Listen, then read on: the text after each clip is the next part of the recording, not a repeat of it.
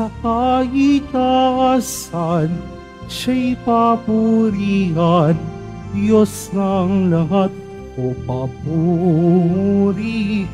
Sa kaitaasan, siya'y papurihan, ngayon at magpakailanman. Mawit ang daigdig at lahat ng naroroon. Umawit ang sangkatauhan, purihin ng Panginoon.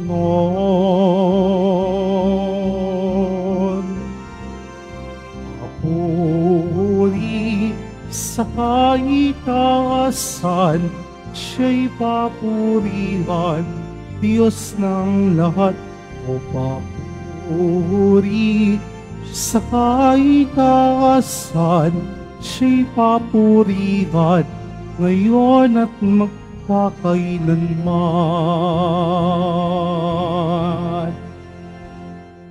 Sa ngala ng Ama at ng Anak at ng Espiritu Santo, Amen. sumainyo ang Panginoon. At sumaiyo rin. Mga kapatid, aminin natin ang ating mga kasalanan upang tayo'y maging marapat gumanap sa banal na pagdiriwang. Tayo pong lahat, inaamin ko sa makapangyarihang Diyos At sa inyo, mga kapatid, na lubha ako nagkasala sa isip, sa salita, sa gawa, at sa aking pagkukulang.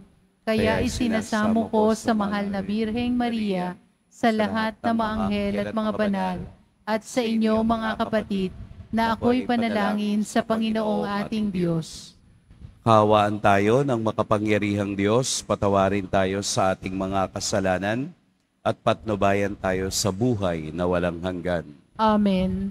Panginoon, kaawaan mo kami. Panginoon, kaawaan mo kami. Kristo, kaawaan mo kami. Kristo, kaawaan mo kami. Panginoon, kaawaan mo kami. Panginoon, kaawaan mo kami. Manalangin tayo.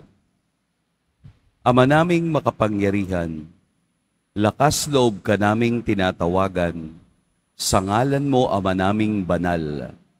Sa kalooban namin ay panahanin mong lubos ang iyong espiritong sa aming kumukupkop, upang sa lupaing ipinangako kami makapasok sa pamamagitan ni Heso Kristo, kasama ng Espiritu Santo, magpa sa walang hanggan. Amen. Magsiupo muna po ang lahat.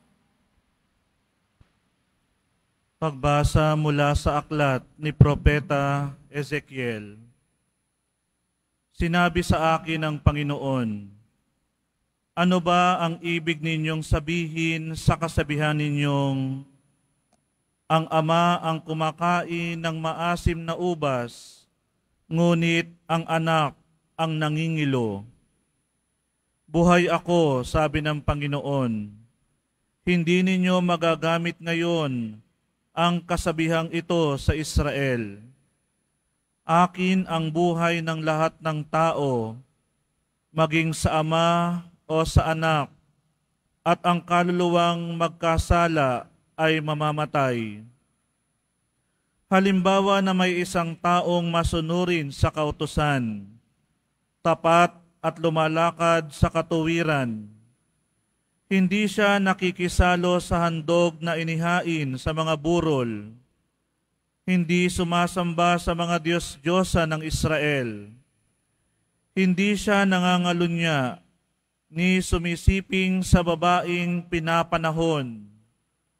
Hindi siya nandadaya ng kapwa o nagnanakaw. Ibinabalik niya agad sa may-ari ang sangla ng nangungutang sa kanya marunong siyang tumulong sa nangangailangan. Hindi siya nagpapatubo sa pagpapahiram ng pera. Siya ay makatarungan. Sinusunod niya ang aking mga utos at mga tuntunin. Ang ganitong tao ay matuwid at mabubuhay siya.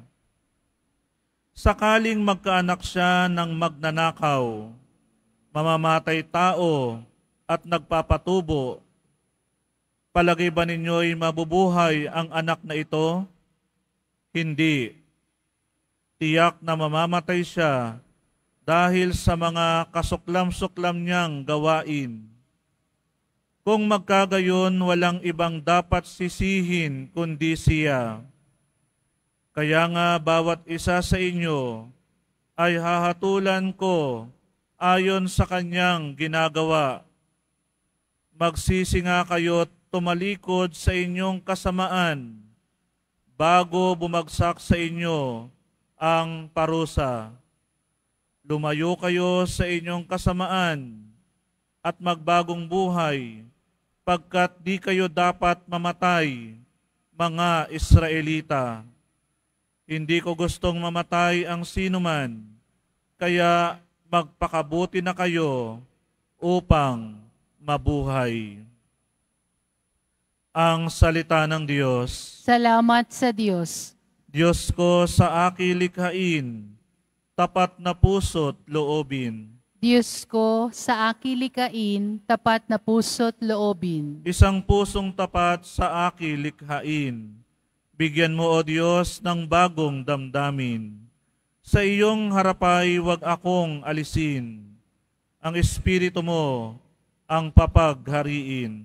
Diyos ko sa akilikhain, tapat na puso't loobin. Ang galak na dulot ng iyong pagliligtas, ibalik at ako ay gawin mong tapat. Kung magkagayo na aking tuturuang, sa iyo lumapit ang makasalanan. Diyos ko sa akilikhain, tapat na puso't loobin. Hindi mo na nais ang mga panghandog.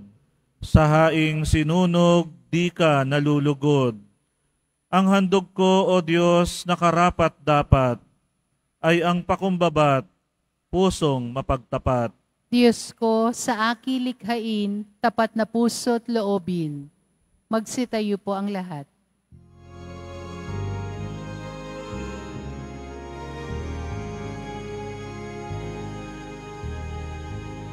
Hallelujah. Hallelujah. Hallelujah. Hallelujah.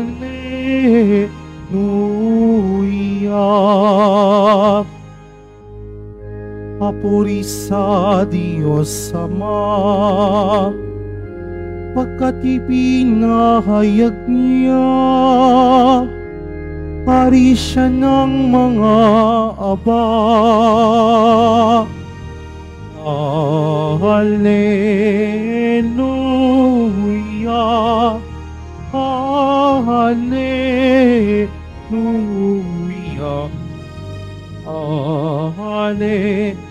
Hallelujah.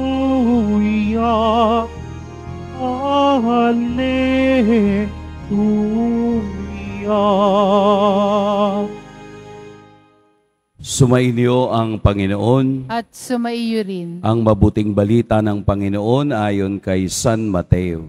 Papuri sa iyo, Panginoon.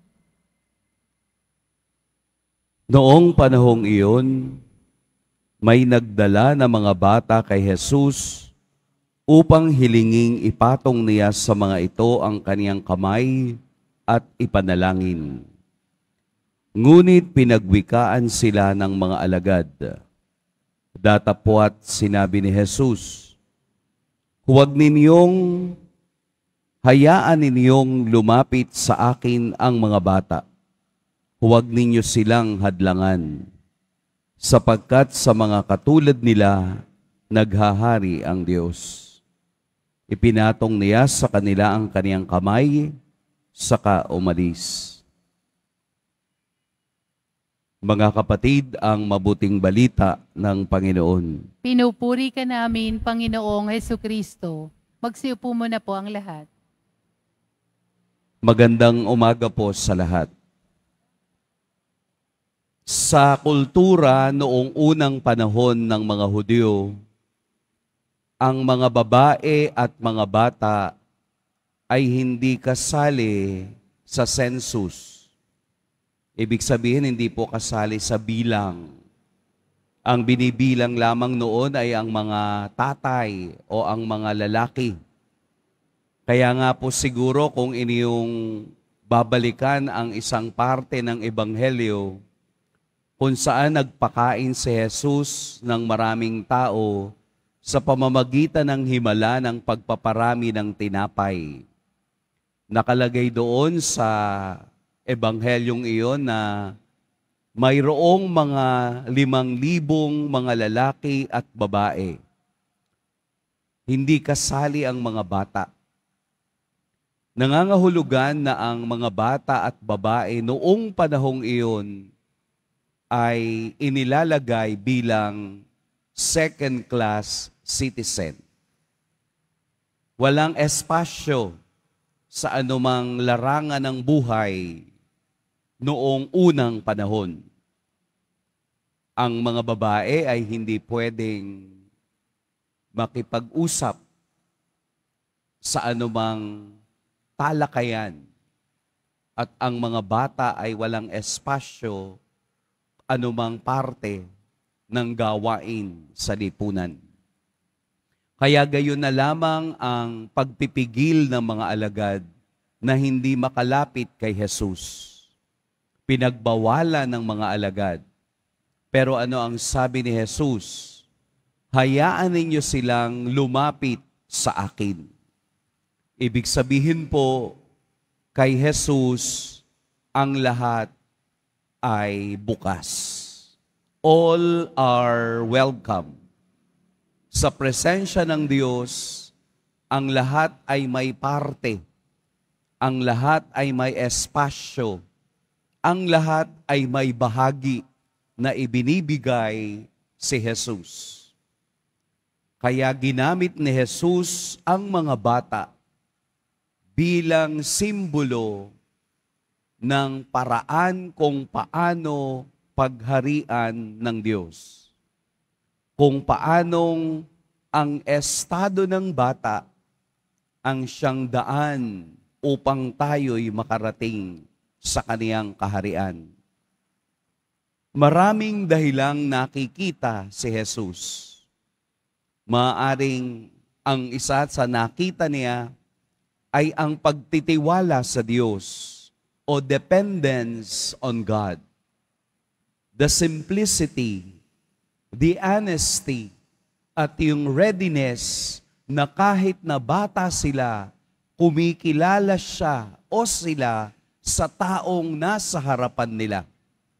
Ibig sabihin, kahit bata pa lang, nakakikilala ng tunay na Diyos. Kaya nga ito ang dahilan kung bakit kahit bata pa ay ating pinabibinyagan upang magkaroon sila ng bahagi sa kaharian ng Diyos.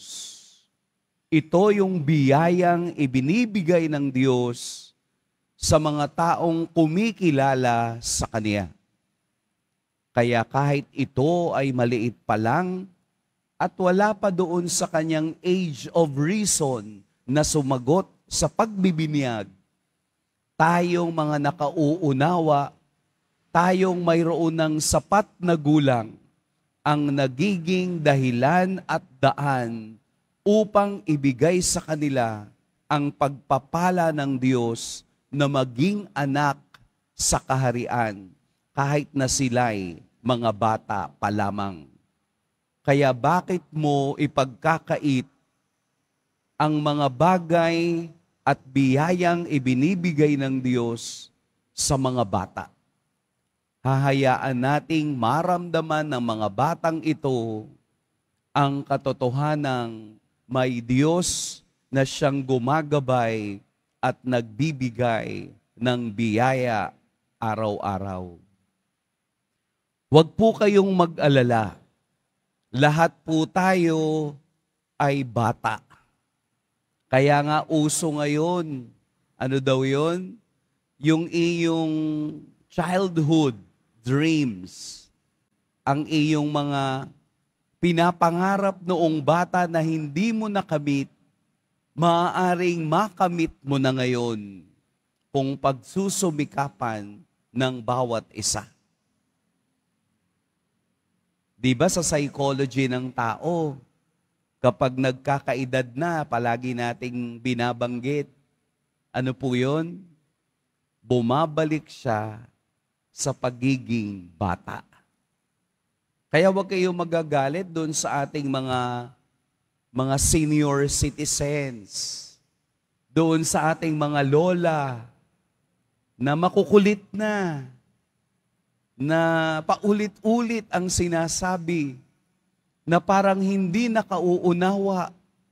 Kasi yun yung unang karakter ng tao, ang maging dependence sa nakikita niyang magbibigay sa kanya ng lakas at sandigan. Masaya, nakakapagod, minsan nakakainis, na meron tayong kasamang matanda sa bahay.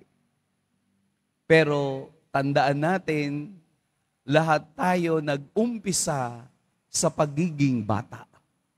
Lahat tayo ay dumadanas ng pagkabata at sa pagkabatang iyan, hindi mawawala ang ating pagtitiwala sa Diyos. Kahit na po mga adult ngayon, hindi nawawala ang pagkabata. Sabi sa psychology, palaging may natitirang 5% ng pagkabata sa bawat isa. Paano ninyo malalamang lumalabas ang inyong pagkabata? Simple lang, nagiging masayahin ka sa maliliit na bagay. Nagiging satisfying ang isang sitwasyon na nakapagpapasaya sa'yo. Kaya it's not flattering na sabihin para kang bata. Kapag sinabihan ka na para kang bata, isa lang ang sasabihin mo. Ano yon? Salamat sapagkat sa pagiging bata, naroroon ang kawagasan ng pag-ibig at pagtitiwala ng Diyos sa bawat isa. Gamitin natin yung pagiging bata sa isang positibong paraan na palaging kumilala sa kapangyarihan at lakas ng Diyos. After all, lahat tayo bata. Lahat tayo nasa isip ng Diyos. Lahat tayo bukas sa presensya ng Diyos. Mahalin po natin ang lahat ng mga bata kasama na ang puso nating hindi tatanda. Pagpalain tayo ng poong may kapal. Magsitayo po ang lahat.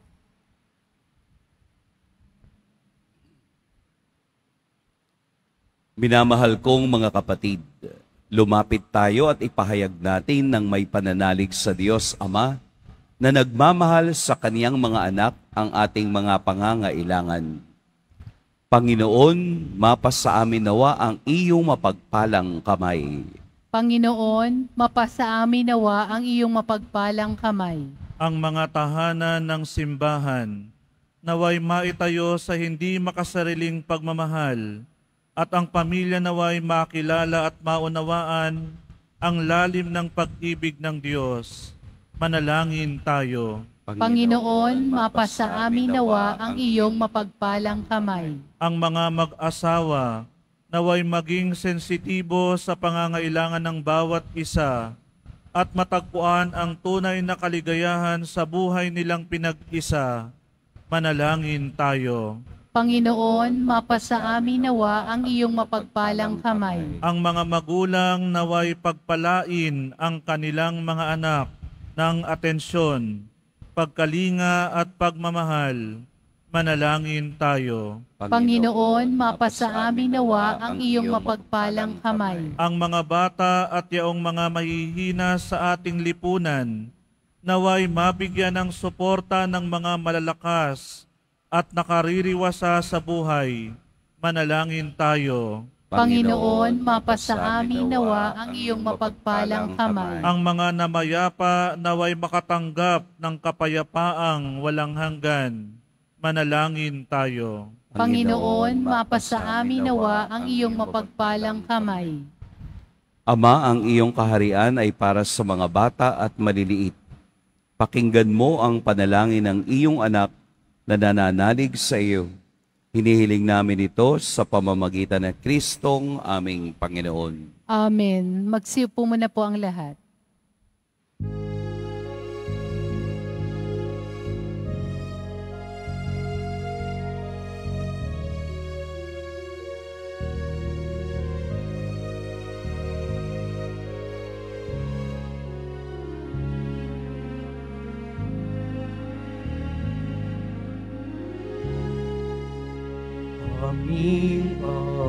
Alay sa'yo,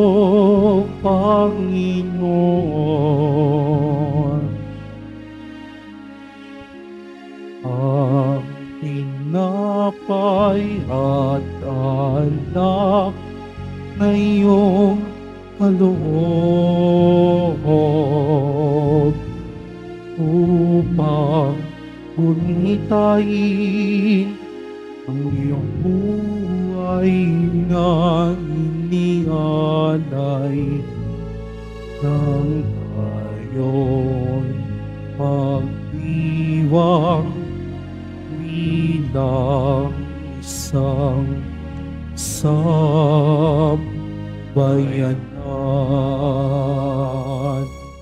Magsitayo po ang lahat. Madalangin kayo mga kapatid upang ang paghahain natin ay kalugdan ng Diyos amang makapangyarihan. Tanggapin nawa ng Panginoon itong paghahain sa iyong mga kamay, sa kapurihan niya at karangalan sa ating kapakinabangan at sa buong sambayanan niyang banal. Ama naming lumikha, kalugdan mo ang mga alay ng iyong sambayanan.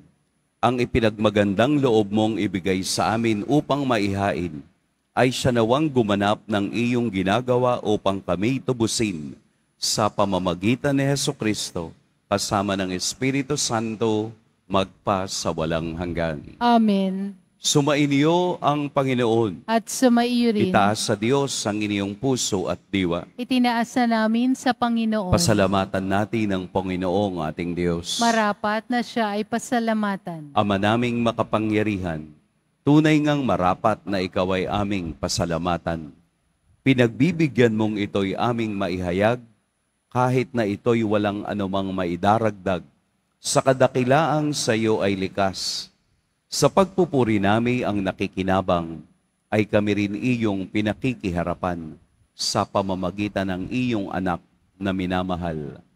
Kaya kaisa na mga anghel na nagsisiawit ng papuri sa iyo, nang walang humpay sa kalangitan, kami nagbubunyi sa iyong kadakilaan. Santo, Santo, Santo, Panginoong Diyos sa mga hukbo, napupuno ang langit at lupa ng kadakilaan mo, o sana sa kaitaasan. Pinagpala ang naparirito sa ngalan ng Panginoon, o sana sa kaitaasan. Magsiluhod po ang lahat. Ama naming banal, ikaw ang bukal ng tanang kabanalan. Kaya't sa pamamagitan ng iyong Espiritu, gawin mong banal ang kaloob na ito upang para sa amin maging katawan at dugo ng aming Panginoong Heso Kristo. Bago niya pinagtiis ang kusang loob na maging handog, hinawakan niya ang tinapay, pinasalamatan kaniya, pinaghati-hati niya iyon, iniabot sa kaniyang mga alagad at sinabi, Tanggapin ninyong lahat ito at kanin, ito ang aking katawan na ihahandog para sa inyo.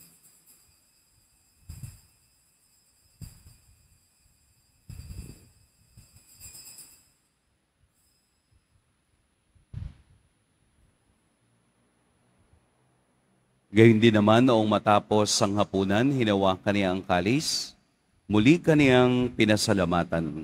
Inabot niya ang kalis sa kaniyang mga alagad at sinabi, Tanggapin ninyong lahat ito at inumin, ito ang kalis ng aking dugo, ng bago at walang hanggang tipan. ang aking dugo na ibubuhos para sa inyo at para sa lahat sa ikapagpapatawad ng mga kasalanan. Gawin ninyo ito sa pag-alala sa akin.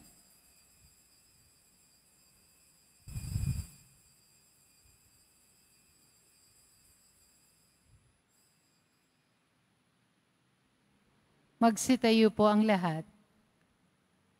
Ipagbunyi natin ang misteryo ng pananampalataya. Si Kristo'y namatay, si Kristo'y nabuhay, si Kristo'y babalik sa wakas ng panahon.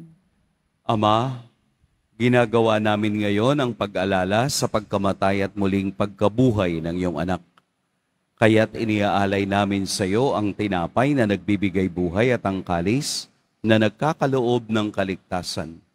Kami nagpapasalamat dahil kami iyong minarapat na tumayo sa harap mo para maglingkod sa iyo. Isinasamo namin kaming magsasalo-salo sa katawan at dugo ni Kristo ay mabuklod sa pagkakaisa sa pamamagitan ng Espiritu Santo. Ama, lingapin mo ang iyong simbahang laganap sa buong daigdig. Puspusin mo kami sa pag-ibig kay Sanay Francisco na aming Papa at ni Jose na aming Obispo at ng Tanang Kaparian. Alalahanin mo rin ang mga kapatid naming nahimlay nang may pag-asang sila'y muling mabubuhay, gayon din ang lahat ng mga pumanaw.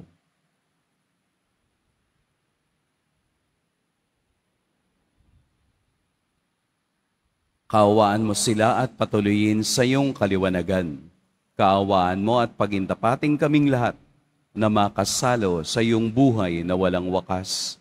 Kaisa ng mahal na Birheng Maria na ina ng Diyos, ng kabiyak ng puso niyang si San Jose, kaisa ng mga apostol ni San Juan Bautista, at ng lahat ng mga banal na namuhay dito sa daigdig ng kalugod-lugod sa iyo, maipagdiwang nawa namin ang pagpupuri sa ikararangal mo sa pamamagitan ng iyong anak na aming Panginoong Heso Kristo.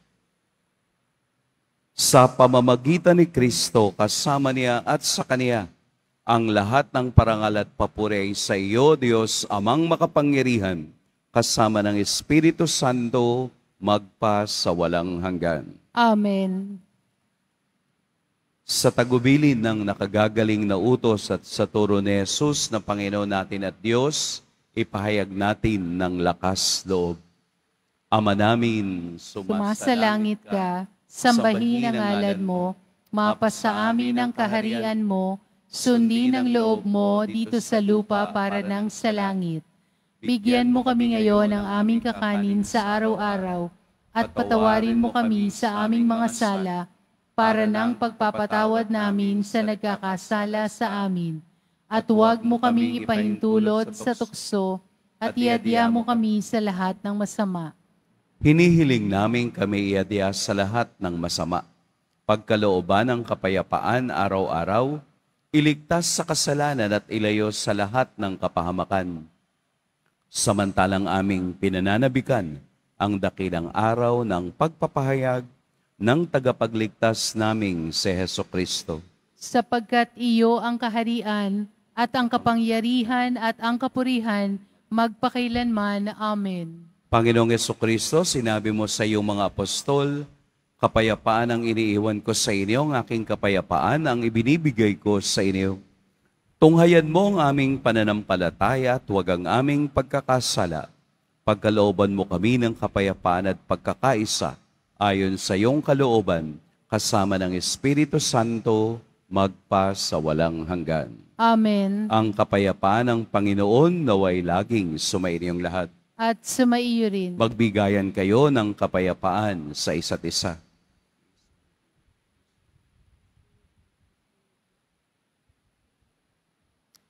Kordero ng Diyos na nag-aalis ng mga kasalanan ng sanlibutan, maawa ka sa amin.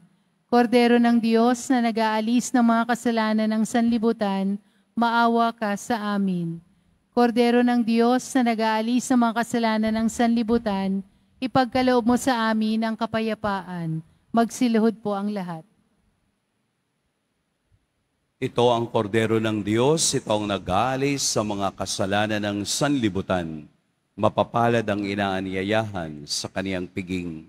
Panginoon, hindi ako karapat-dapat na magpatuloy sa iyo, ngunit sa isang salita mo lamang ay gagaling na ako.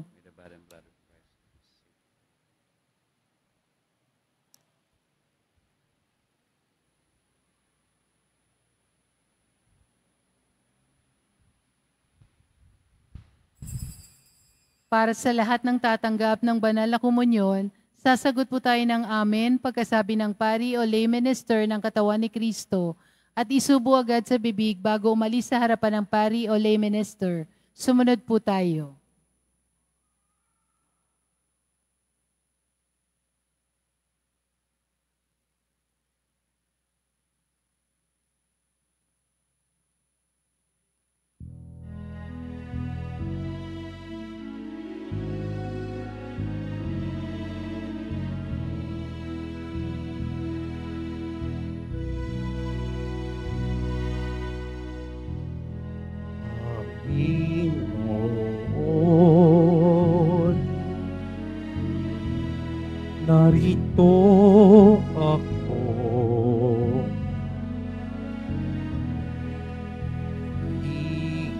Ika'y sa utos mo lahat ng yaman ko ay alay ko sa'yo. Ikaw ang panging buhay ko.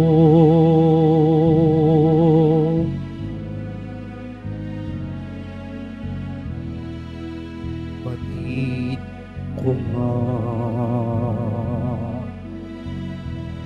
at natanto sa kasulatan yung turo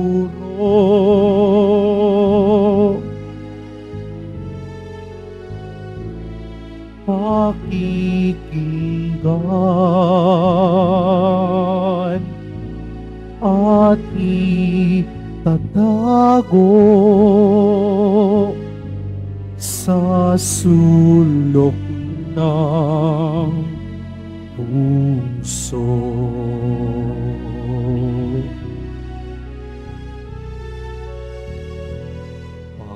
Panginoon,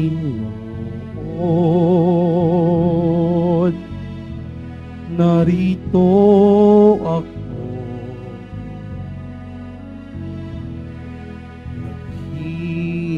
Naghihintay sa utos mo lahat ng yaman ko ay alay ko Ikaw ang tanging buhay ko.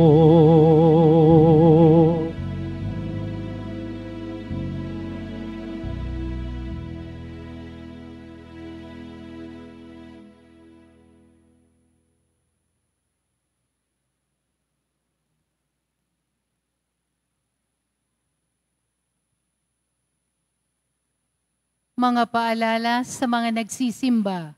Pagkatapos ng misa, wiwisikan po ang lahat ng banal na tubig.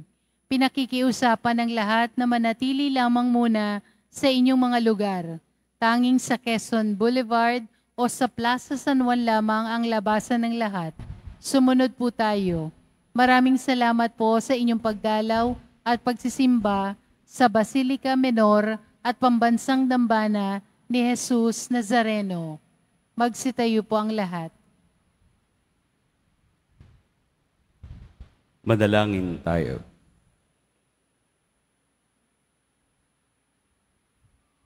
Ama naming mapagmahal, ang pakikinabang namin sa piging na banal ay magdulot nawa sa amin ng kaligtasan at magtanghal sa amin sa luningning ng iyong katapatan. Sa pamamagitan ni Heso Kristo, kasama ng Espiritu Santo, magpa sa walang hanggan. Amen. Sumainyo ang Panginoon. At sumaiyo rin. Yumuko kayo para sa pagbabasbas.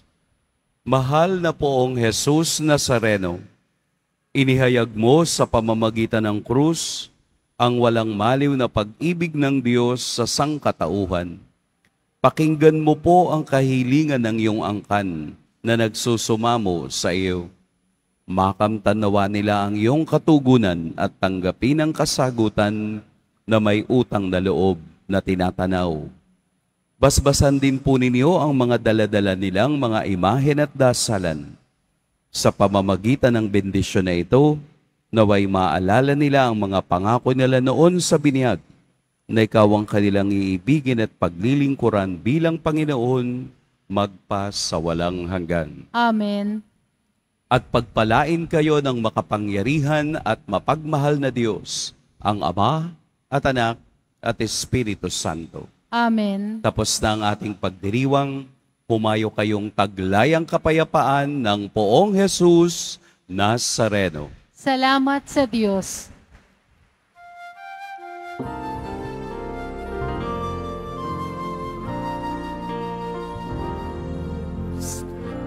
Padre Jesus Nazareno, nasamba ka namin.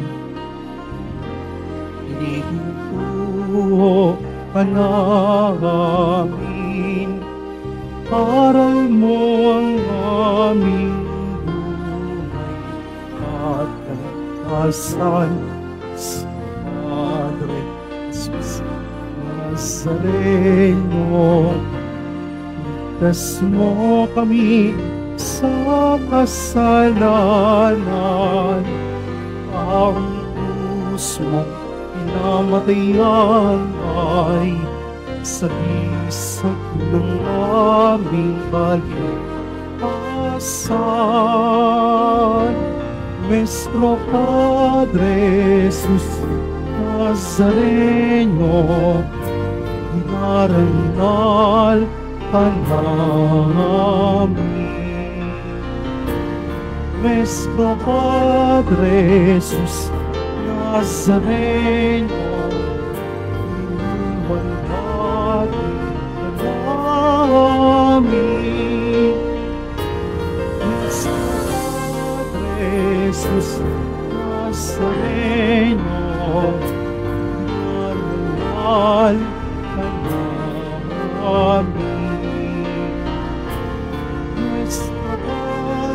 Jesus Nazareno, inuwalhati ka namin.